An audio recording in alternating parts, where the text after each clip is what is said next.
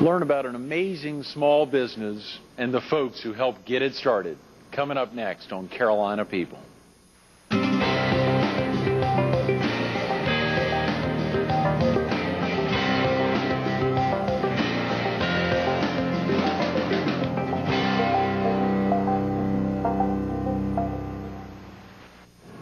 Good morning.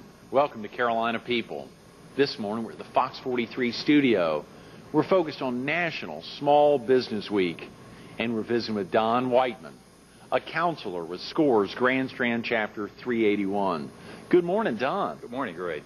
Thanks so much for being with us this My morning. pleasure to be here. Obviously, getting Dick and Ashley in yesterday, and you and Chris in today. Both days on the SCORE perspective, but all week to think of a, a number of small businesses here on the Strand and in the Pee Dee that are coming in to highlight uh, what it's like owning and operating a business. Yes. We have a lot of uh, inquiries from people starting businesses. I bet you do, particularly in Horry and Georgetown County. yes. I covered Georgetown County primarily, Mhm. and we've had probably since the first of the year about 35 inquiries starting a business. And now, when you say an inquiry comes in, does that mean a counselor will actually be assigned to that inquiry and, and, and actually go out and help out? Yes, we work in teams, Mhm. and we vary our teams every two months. So we'll uh, come in with a uh, inquiry to a team, and we'll contact that person by phone, set up an appointment, and find a place to meet and discuss their opportunities. Mm-hmm. Mm-hmm. Don, where are you from originally?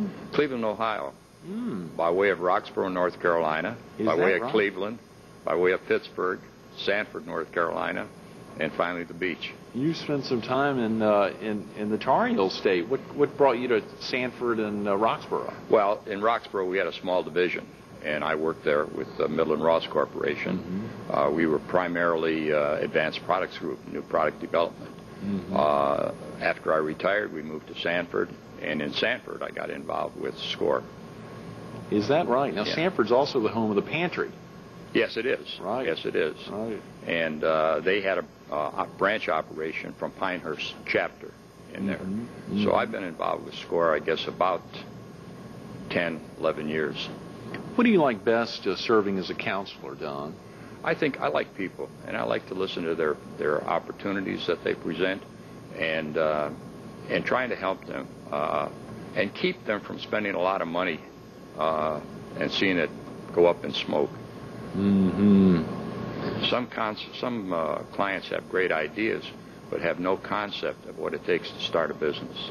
I'm sure. Well, I, I, you know, I feel like I'm like that sometimes, and I'm sure a lot, a lot of uh, owners or business people that my salespeople, both here and in Florence, are calling on. I, I'm sure at times, it's amazing to think how someone actually got in business, It is.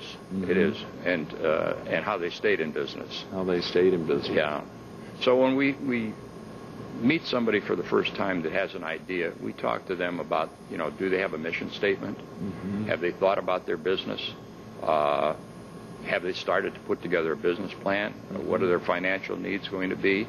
Because the bank's not going to talk to them unless they have a business plan and a financial plan and a marketing plan put together. Mhm. So if we can get them started in that direction and stay with them, uh, they have a chance then of, of being uh, successful. hmm One of the things that was stressed so heavily by uh, Kathy Lowry a couple of months ago when she and Dick and Bob Goroski came in was score is without charge and confidential. And it was so important. I know Dick and I talked about that yesterday.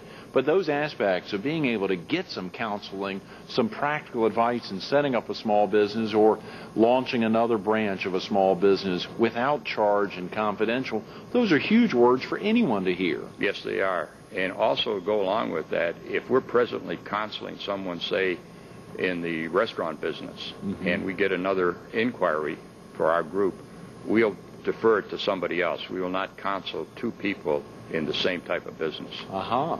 So that keeps the confidentiality there. You mean SCORE can still be involved, but it'll be a different counselor? Right. Okay, good. What was your business background? I know you talked a little bit about that uh, uh, in the on the North Carolina side, but in Cleveland, what your business background and how has it helped you in your work as a SCORE counselor, Don? Well, uh, working at National Castings, I was in the new product uh, group, and we found uh, new businesses and new products. So I have an idea of what it takes to start a new product up or a new business. Uh, I spent 15 years uh, on container handling. Uh, I was with the uh, International uh, Association for Containers Development. I spent uh, 15 years on the Standards Committee. Uh, so my background is uh, is pretty varied, from manufacturing, engineering, and uh, finally I ended up as vice president of sales and marketing for an electrical group in Pittsburgh of the corporation. Wow. So uh, yes, it's a broad background, so I can talk to many aspects of, of business. Absolutely, Don. Well, of course, it being National Small Business Week, I want to talk for a couple minutes about what are some of the services that SCORE offers.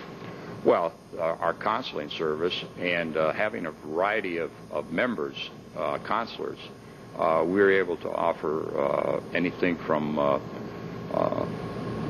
business development with uh, a person like myself, accounting help, uh, tax help. Uh, we have one counselor in, in Georgetown County. We call him a half a counselor because you know, he works part time with us. But he spent 35 years with the IRS. Wow. So he Right. can help us in taxes and in, in new uh, new corporate structures. Absolutely. Now, and, and, and I know we talked about the without charge and, and confidential, but there are some services or programs where there are charges, oftentimes just related to the facility rental or otherwise. Yes, there always could be a small fee involved where we have to uh, uh, rent a facility or uh, we have to bring in someone from the outside. But generally, we can handle it ourselves. We're pretty diverse in our chapter. Absolutely. And of course, being associated with the Small Business Administration helps out a heck of a lot as well. Yes. Don, we've got we got about five minutes. One of your clients, and it's it's exciting to be able to call them all these folks clients. Chris Skodras, the owner of uh, Eggs Up Grill, will join us in a, in a couple of minutes to talk about his experiences with SCORE. From your perspective, how did you first meet Chris? Well, my wife Fran and I, we visit his restaurant quite often and uh, got to know Chris. And our Kiwanis Club meets there uh, every Thursday in a private room that we have. And uh, so I got to know Chris through that. And was quite surprised when I received a call from Myrtle Beach saying that Chris had applied for uh, a counselor because it was a successful business. And generally, I'd say 95% of the inquiries we get are somebody that wants to start a business. yeah, sure. Yeah. Well, that's exciting. Yeah, and, and So- you quickly moved on that. Yes, we did, and uh, sat down with Chris and to find out uh, what was the what was the needs. Because it was a successful business ongoing, we didn't need to use the rifle approach, but rather shotgun. We we looked at all aspects of the business, and one of the things he was concerned about was he had brought some people up through the organization, and now they were going to be managers. And what does a manager do? And uh, so we talked about working on the business rather than in the business Mm-hmm. Mm-hmm. and uh, and that made a difference. He's still very hands-on. I mean, he's still very Yes. active, right? Yes. Sure. But the uh, but the people that he brought along, uh, Frank and Kim, now became managers of the restaurants, where Chris could look at the overall operation. Mm-hmm. We also developed a focus group, Hmm. and uh, this was successful in the business that I was in. We brought in customers to look at our business, and what we suggested to Chris, and he followed through on it, was to find some good patrons that come to his restaurant, set them up as a focus group, hire a facilitator, give them five or six questions to handle, and to perhaps him to stay out of it, let the uh, facilitator handle it, and then the information he gets back is what the customers really think about your business, and that was very successful. So that's how a focus group kind of operates. And uh, we used, uh, from a national standpoint, or my business was, we put this into into his uh, into his business. Um, That's mesmerizing, Don. When you think about that, that aspect and the benefit for a business owner being able to step away from his or her business and to be able to hear what other folks actually objectively feel about it, that's truly instrumental. Well, perception is the real thing, right? There we are. what Listen the customer that. really perceives is what the business is really about. Fox 43. There we are. Thank you, Don. That's a, s- a sell for the TV station. How would you describe the process you brought Chris through? What were the main main areas addressed? Well, we looked we looked at the people aspect of it first, and we looked at uh, the direction that he wanted to go in. He wanted to have these people become managers, and uh, you know, there's probably 10,000 books on how to be a manager, but the thing you have to be able to do is step away, be able to delegate, be able to watch your people, be able to help them overcome some of the things that you had to overcome when you were in that part of the business. So we took his people through through those stages. And we also, uh, of course, influ- in, influenced the focus group there, which helped him. Don, how do your clients ever step away from you? It seems like they'd constantly be seeking more and more advice. I mean, with instrumental advice like that, how do they ever break away? Well, uh, some of them, most of them don't uh, that are successful. Uh, we keep in touch and we keep the files open. And uh, if they need additional counseling or they have a question, uh, sometimes we're just a phone call away. hmm In aspects from your background, you talked about obviously the new product development and being an. Uh, had you ever been involved with the restaurant industry, or did it matter? No, it doesn't matter. Business is a business. That may sound strange, but it's true. Whether you're running a TV business or you're running a restaurant, the basic things are there. And you have to do the basic things to be successful. Don, if, if, a, if a viewer, obviously the Grand Strand Chapter 3, 381 serves a large area, Florence, uh, Marion, Dillon, Horry, Georgetown, Williamsburg County, a heck of a large area. Did you ever hear a request from folks in the Pee Dee area that are seeking, uh, seeking advice on how to move their business along? Uh, I've had a couple of calls, Right. yes, but I try to stay just in Georgetown. Your primary focus is Georgetown County, of course. And speaking of Georgetown County, if someone wanted to see you face to face, Don, and have an opportunity to get with you, are there some events at night or in the morning where you're available? Yes, every Thursday at uh, Inlet Square Mall from 5 to 8. There's counselors there, and we have a table set up, and uh, there's either one or two of us there that they can contact us. They can also contact us through the Myrtle Beach office. Mm-hmm. That's the 843-918-1079 number. Of course, you'll also have a great website. We have a great website, which is uh, uh, www.mbscore. Dot org. Exactly. It's exciting to think there's so many opportunities to turn to on the internet to really get a, a lot of opportunity, but being able to come to see you at Inlet Square Mall face to face Thursdays from 5 to 8.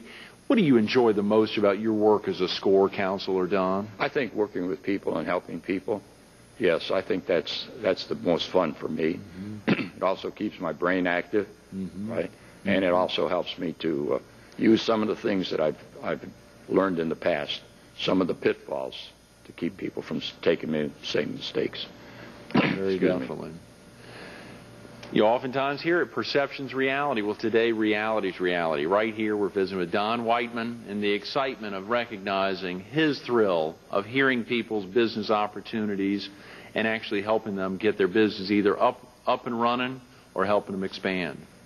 Don, thanks so much for being with us this morning. Thanks for having me. It was a pleasure. Ab- Absolutely. Stay tuned to Chris Skodras, Eggs Up Grill, coming up next on Carolina People.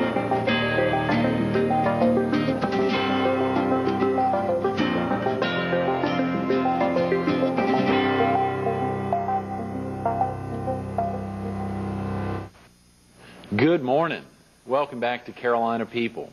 This morning we're at the Fox 43 studio in Myrtle Beach.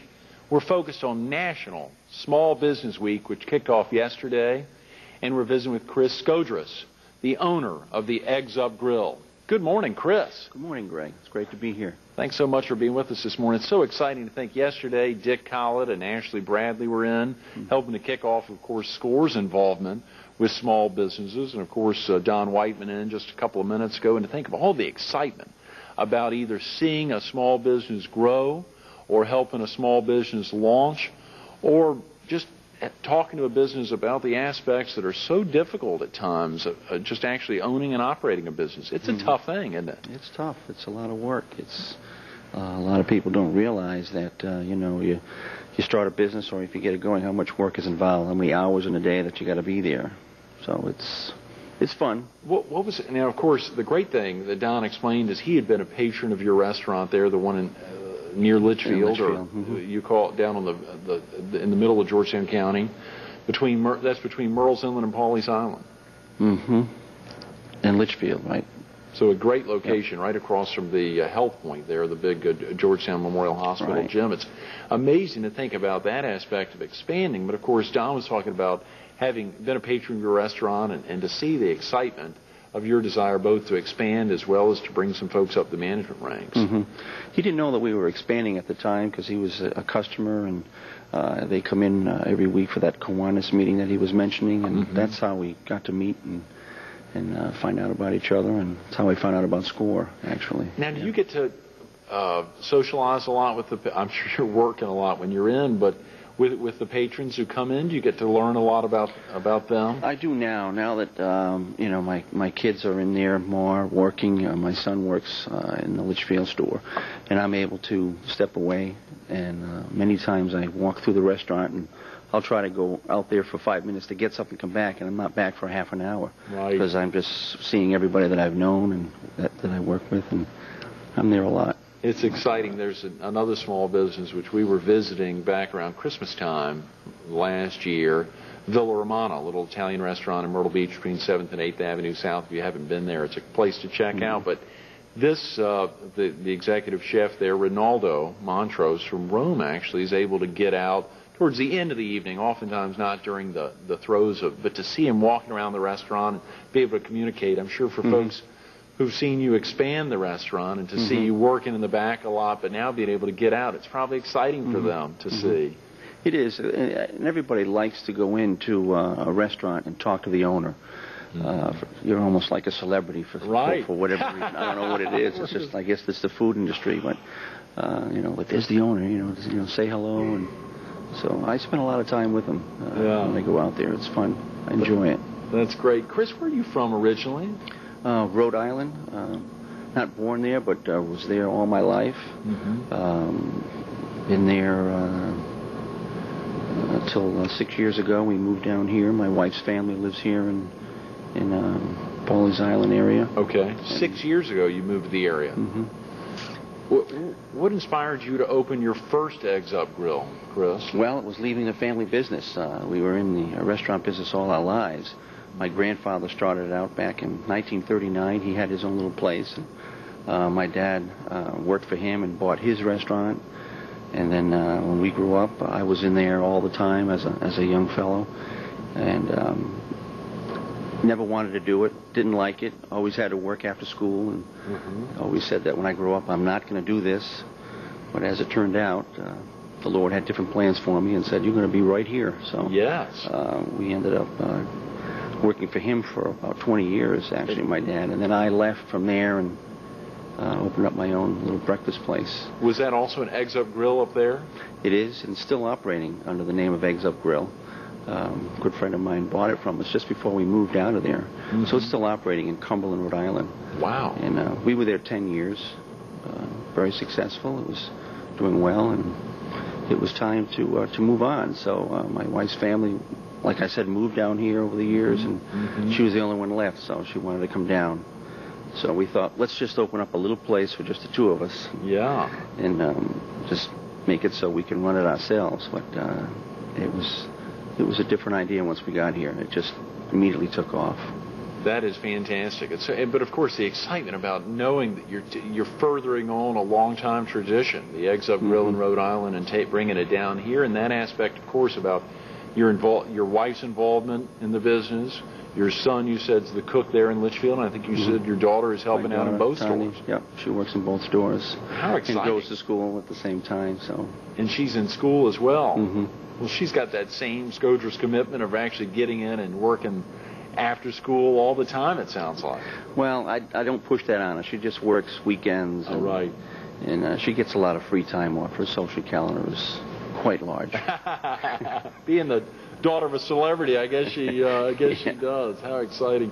How did you select the site for your Litchfield Eggs Up Grill location? well, uh, I'd, I'd like to say that I scoped it all out and did all my demographics, but it was uh, available. That's Uh-huh. all. And we uh, we rode down and looked in the area, and uh, that site uh, was the size that we needed, and uh, the parking was uh, plentiful. So Were you prepared to handle its success? Yeah, because we opened up with the idea we're just going to open up big enough for what for what we can handle. So we just had ten tables, my wife and I, uh, a couple of waitresses, and one other cook that I was training, and it immediately lined up, and everybody kept telling you, you got to have more tables, you got to have more tables. So Mhm. uh, we waited until we had a better staff to uh, service all those people, and got bigger and bigger and bigger in there. And now you can't fit any more tables in there. So Mm, that is wonderful. What prompted you to open your second Eggs Up Grill in Surfside? I believe it was the growth. I mean, the people that I had working for me were doing a great job. For one, they love their job, and they get um, they want to stay with us. And the only way to stay with us is if we were to grow some more. So we thought about opening up a second location and moving some people over there, and it uh, just made sense. Um, Has that been tough for you, Chris? Knowing you can't be physically in both stores at the same time, but wanting to be around there, that must be I mean, was- must be really difficult. That was one of my challenges, is to worry about how can I cut myself in half, and I knew I couldn't do that. I knew that I had to stay with the one store, open the other one under the premise that it's going to be a second store, put a manager in there, a good manager in the store to get it up and running, and it would have to develop around that person. It's uh, such a people business that, um, although I do go in there, I, um, I uh, I'm in there once or twice a week, and Mhm. I keep close contacts with it. It's doing well, Surfside. Great. We've got about four minutes, Chris. Can you share real quick what's on the menu? Do you have a specialty? Home fries. Home fries. We cut them all by hand, and we cook them by hand, and it's um, that's one of our signature items. That and the corned beef hash. Uh, everybody loves it. It's my own recipe from many years ago. So, Now, is that a heart healthy corned beef hash? well, it can be. Uh huh. If you eat just half the amount, it's half the calories. Good for you. Good for you. What made you decide to contact SCORE for help? How did you learn about the group? Of course, it being National Small Business Week and being in here with Don this morning, how did you learn about them? Well, we had uh, the two stores, and like I mentioned earlier, I couldn't be in two places at the same time. And putting a management team in force up there, I've never was a manager myself, so I didn't know how to train a manager. So we needed some uh, organizational skills and how to manage a facility. So um, they came in and um, showed us the uh, and laid out some management meetings that we needed to do, put some agendas in play, and uh, it was it was a big help to us to get organized, and that's what we needed to do.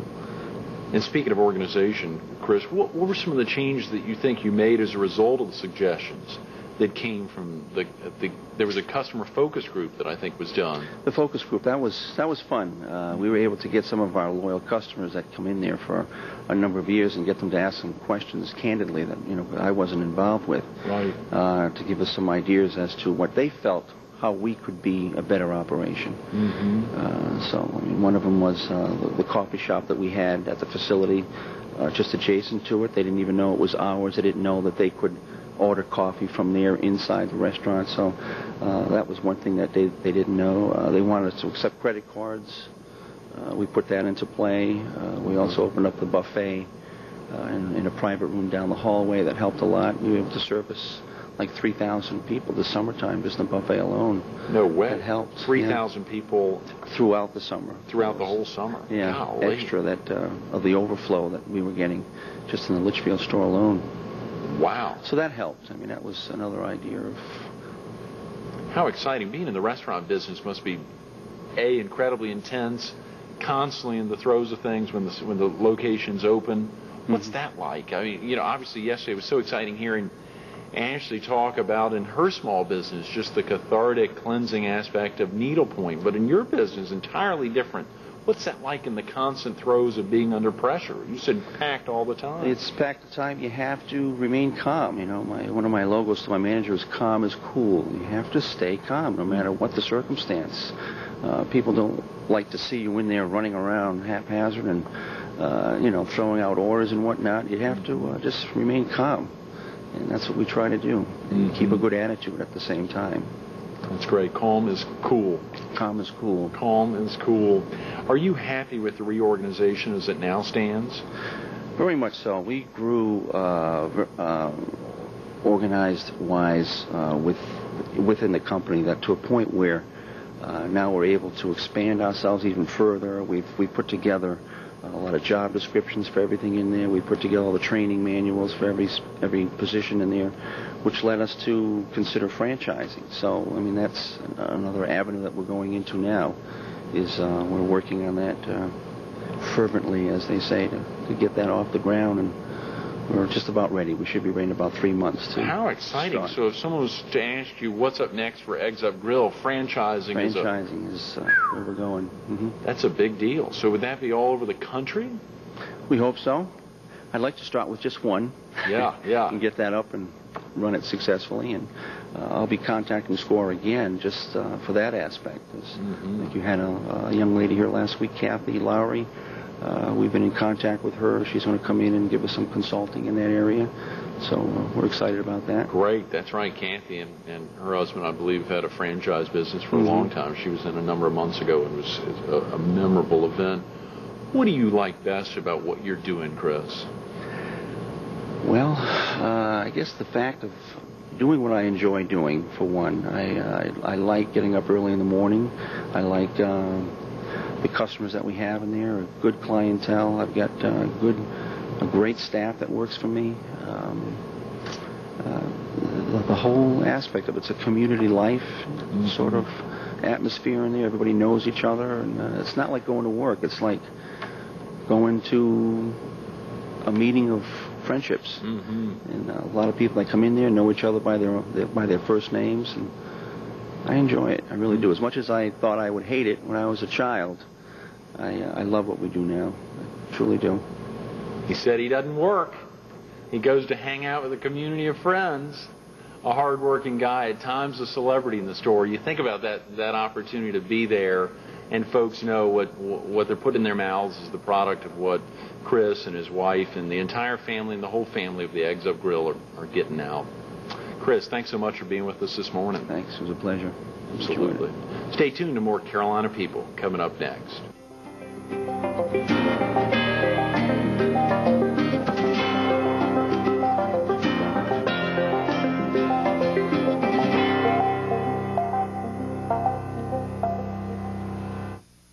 want to thank Don Whiteman of SCORE and Chris Skodras of the Eggs Up Grill for working so hard to make National Small Business Week such a great success.